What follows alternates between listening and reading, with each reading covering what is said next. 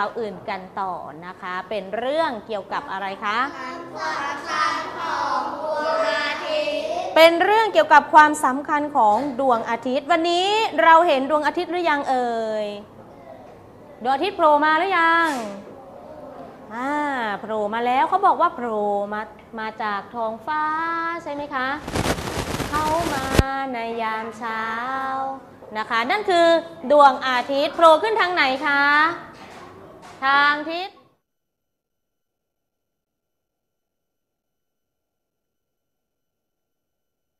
วันออกนะคะ ดวงอาทิตย์โผล่ขึ้นมาทางทิศตะวันออกนะคะ เอ๊ะดวงอาทิตย์สีอะไรนะ สีแดง สี แดง สีส้มนะคะ สีแดงสีส้มสีเหลืองขึ้นอยู่กับเวลา เรามองดวงอาทิตย์โดยตรงได้หรือเปล่า ไม่ได้ ไม่ได้ เพราะ เพราะดวงอาทิตย์มีแสงสว่างจ้ามาก แต่ตอนดวงอาทิตย์ขึ้นนะคะ ในยามเช้าเราสามารถมองดูดวงอาทิตย์ได้ด้วยตาเปล่าค่ะ แต่ต้องตื่นให้ทันนะ สาเหตุที่มองดูดวงอาทิตย์ได้ด้วยตาเปล่า เพราะดวงอาทิตย์นั้นอยู่ไกลจากเรามาก อยู่ไกลจากเรามาก กว่าแสงจากดวงอาทิตย์จะส่องมาถึงพื้นโลกของเรานั้นต้องใช้เวลาประมาณ ประมาณ 8 นาที เพราะฉะนั้นในช่วง 8 นาทีนี้นะคะ นักเรียนสามารถมองดูดวงอาทิตย์ด้วยตาเปล่าได้ในช่วงเช้านะคะแล้วก็นี่คะนี่มองได้ค่ะมองได้ เห็นไหมคะ ดวงอาทิตย์นะคะมีความสวย เพราะว่ามีแสงเมื่อมาบดมีสิ่งอื่นมาบดบังเห็นไหมคะ ก็จะมีความสวยงามนะคะ มีความสวยงาม ดวงอาทิตย์บางที่นะคะ นักท่องเที่ยวก็ชอบไปดูนะคะ บ้านเราอยู่ใกล้ทะเลอู้ดวงอาทิตย์โผล่มากลางทะเลเลย เคยดูหรือเปล่า ไม่เคยเลยเห็นไหมคุณครูบอกแล้วนักเรียน ต้องตื่นแต่เช้านะนะคะ ลองลองลองลองหาโอกาสไปดูนะคะ บ้านใกล้ทะเลนี่ต้องไปดูดวงอาทิตย์โผล่ขึ้นมาจากพื้นน้ำพื้นทะเลท้องทะเลเรานะ เออ มาได้ยังไงก็ไม่รู้โผล่มาจากกลางทะเลเลยนะคะอ้าว ให้ดูค่ะ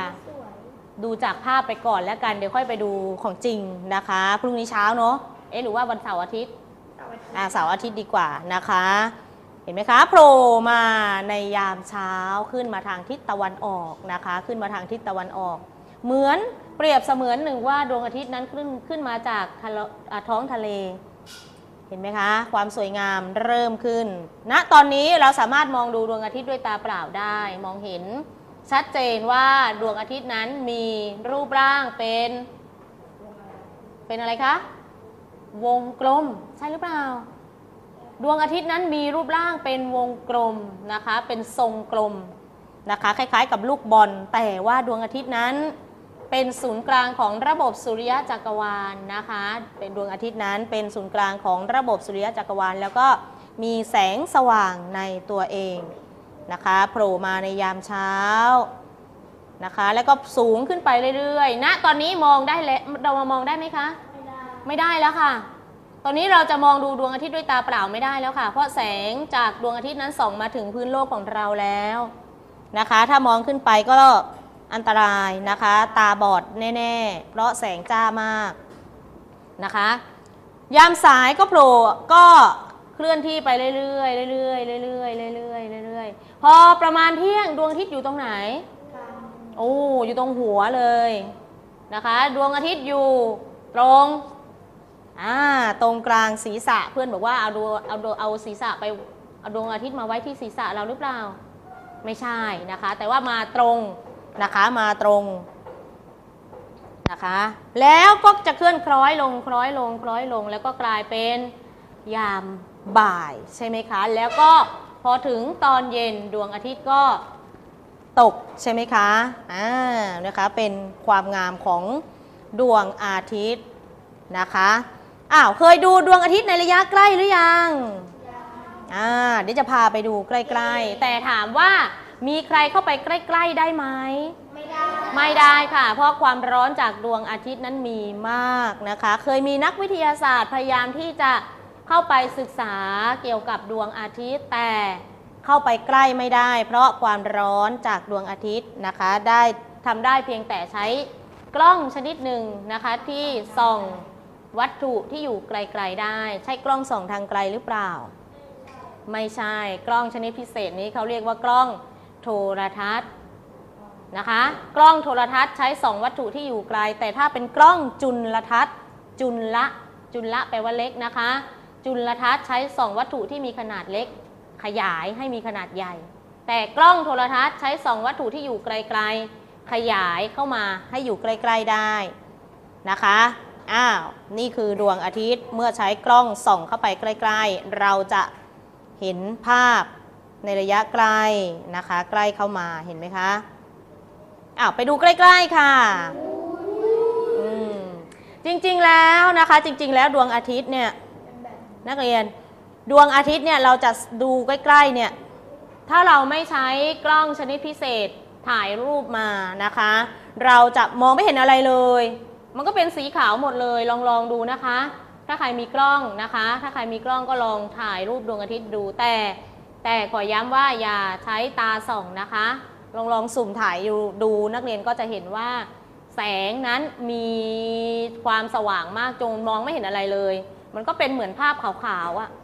นะคะ แต่อันนี้เขาใช้กล้องชนิดพิเศษนะคะ สามารถถ่ายรูปดวงอาทิตย์ได้นะคะ จะเห็นได้ว่าดวงอาทิตย์นั้นนะคะ จะมีลักษณะเป็นจุดๆๆๆแล้วก็จะมีนะคะจุดที่เป็นไงคะเหมือนมีเพลิงลุกไหม้ตลอดเวลานะคะ แล้วก็จะมีการระเบิดด้วยนี่เห็นไหมคะ ตรงนี้เหมือนมีระเบิดด้วยนะคะ นี่แหละ ดวงอาทิตย์ ไปดูใกล้ ๆ อีกทีสิอ่าเหมือนลูกไฟลูกโตๆนะคะ ที่มีความร้อนและก็มีการระเบิดอยู่ตลอดเวลานะคะ มีการระเบิดอยู่ตลอดเวลาสังเกตจุดเหล่านี้ค่ะ จุดสีขาวๆเหล่านี้นะคะ จะมีการประทุของเชื้อเพลิงอยู่ตลอดเวลา ซึ่งบนดวงอาทิตย์นั้นไม่ได้มีเชื้อเพลิง ไม่มีใครที่จะนำฟืนไปใส่ ไม่มีใครที่จะใครจะเอาระเบิดไปปาให้ระเบิดตุ้มตุ้มตุ้มไม่มีนะคะ แต่ที่มีการลุกไหม้แบบนี้ เพราะมีก๊าซชนิดหนึ่งนะคะที่อยู่ในเนี้ยนะคะมีการลุกไหม้อยู่ตลอดเวลานะคะอ้าวเดี๋ยวคุณครูมีภาพให้นักเรียนดูอีกหนึ่งภาพนะคะ เราไปดูกันค่ะ ดูภาพนี้เนาะอ้าวมืดหมดเลย ไปดูดีกว่าค่ะ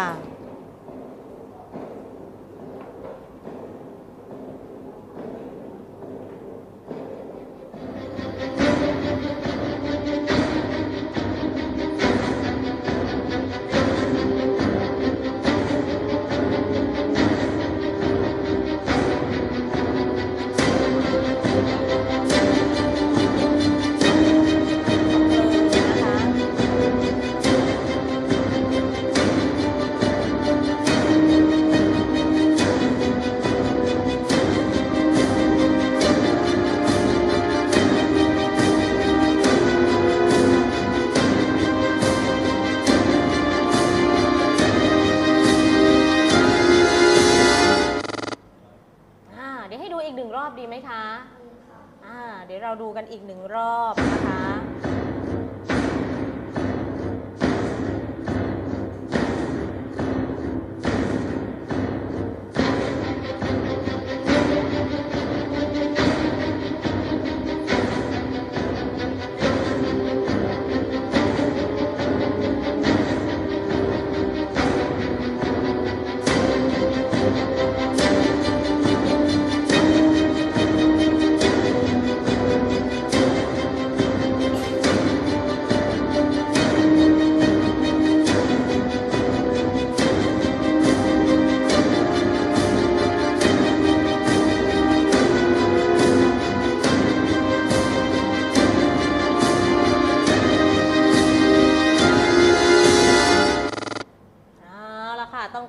YouTube ด้วยนะคะ ที่มีคลิปดีๆให้นะคะให้นักเรียนได้ศึกษาเรียนรู้กัน นี่คือภาพของ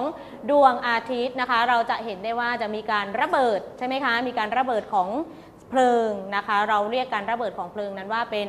เพลิงสุริยะนะคะ นักเรียนคิดไหมว่าถ้าเพลิงนั้นระเบิดออกมาไกลๆนะคะ ผลจะเป็นอย่างไร คิดไหมถ้าสมมุติว่ามีการระเบิด ออกมาตูมแล้วเหมือนกับว่าเปลวไฟเปลวของการระเบิดเนี่ยมาที่พื้นโลกของเรา นักเรียนคิดว่านักเรียนจะอยู่ได้ไหมเนี่ยไม่ได้อ่าเราก็คงจะถูกเผาใช่ไหมคะ แต่ดวงอาทิตย์นั้นอยู่ไกลจากเรามาก ดวงอาทิตย์นั้นอยู่ไกลจากเรามากทำให้เราไม่ได้รับผลจากการระเบิดนั้นนะคะ เขาบอกว่าเมื่อตอนปีที่ผ่านมาปี 2557 นะคะ เมื่อประมาณวันที่ 16 พฤษภา 16 ธันวาคมนะคะ จะมีการเกิดเพลิงสุริยะครั้งใหญ่ เห็นไหมคะ การระเบิดออกมาประทุออกมาแต่ละครั้งนะคะ เขาบอกว่าจะมีการเกิดเพลิงสุริยะครั้งใหญ่เกิดขึ้นนะคะ โดยองค์การนาซานั้นอบอกว่าจะมีการระเบิดออกมา แล้วก็อาจจะทำให้เรานั้นได้รับผลกระทบ นะคะ เพราะเหตุว่าอาจจะมีควันอาจจะมีฝุ่นละอองหรืออะไรหลาย ๆ อย่าง แต่สุดท้ายก็เป็นไงคะอ่าไม่มีนะคะ แต่ว่าถ้าเกิดเหตุการณ์แบบนี้ขึ้นบ่อย ๆ ส่วนสิ่งที่ได้รับผลกระทบนะคะ อาจจะเป็นในเรื่องของดาวเทียมนะคะ ซึ่งดาวเทียมนั้นจะโคจรอยู่รอบโลกของเราใช่ไหมคะ ดาวเทียมจะโคจรอยู่รอบโลกของเรา ถ้าเกิดว่ามีเพลิงสุริยะเนี่ย ระเบิดประทุออกมาเยอะๆนะคะ จะทำให้มีผลกับดาวเทียมหรือวัตถุอื่นที่อยู่บนท้องฟ้านั่นเอง